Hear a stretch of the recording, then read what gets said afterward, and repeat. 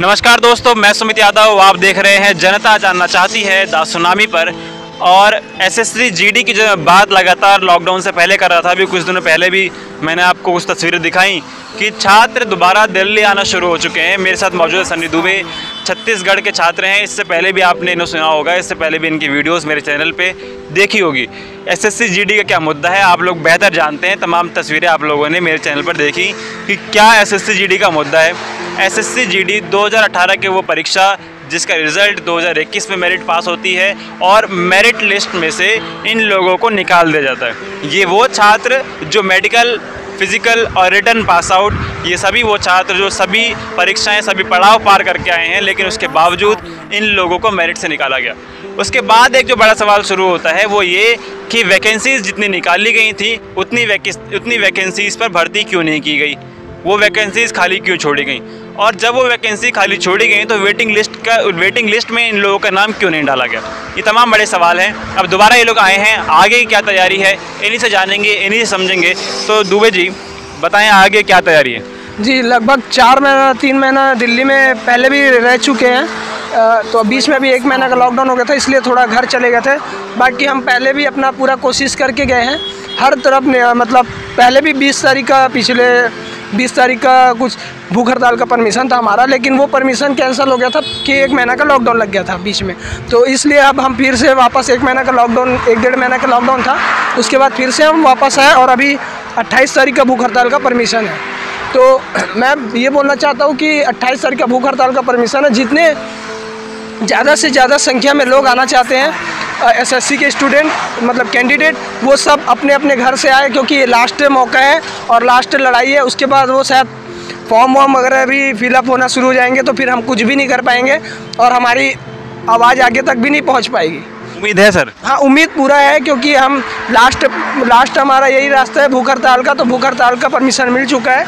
और पूरा उम्मीद है कि आप पूरा उम्मीद लेके आइए घर से और हंड्रेड परसेंट हमें कुछ कामयाबी मिलेगी सवाल इसलिए क्योंकि दो तीन महीने आप पहले ही बिता के गए कुछ हुआ नहीं लाठी डंडे भी पड़े ठीक गिरफ्तारियाँ भी हुई तो निराशा हताशा तो नहीं गई?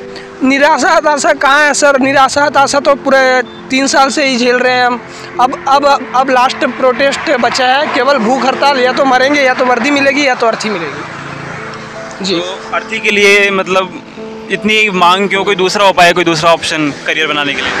कोई दूसरा ऑप्शन हमें दिखता ही नहीं है क्योंकि हमें फ़ौज में जाने का बचपन से शौक था इसलिए हमें कोई दूसरा ऑप्शन नज़र नहीं आता।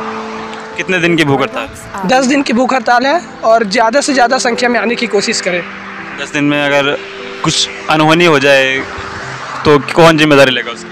सरकार ज़िम्मेदारी लेगी क्योंकि सरकार ने तो ही मतलब हमें इस भूख हड़ताल करने पे मजबूर किया है तो सरकार ही इसके जिम्मेदार होगी। और अगर इस दस दिन में भी सरकार नहीं मानी तब क्या करेंगे? उसको मानना पड़ेगा क्योंकि हमने पहले भी हर जगह कोशिश कर चुके हैं। अब हमारा लास्ट कोशिश है भूख हड़ताल और भूख हड़ताल करेंगे तो शायद सरकार को निर्दयी इतना निर्दयी सरकार तो नहीं है लेकिन अगर निर्दयी होगी तो फिर नहीं मानेगी अगर निर्दयी नहीं है तो मानने माने मान लेगी। कितने लोग कितने लोग अब आपकी तैयारी कितने लोग दिल्ली आ रहे हैं?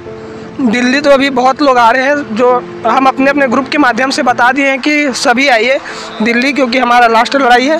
जो पहले आए थे वो तो पूरे आएँगे। हम्म, और और भी नए लोग जुड़ रहे हैं जो कि आना चाहते हैं। तो ये थी ये हालात है इस देश में और ये हालात है एसएससी जीडी के छात्रों की।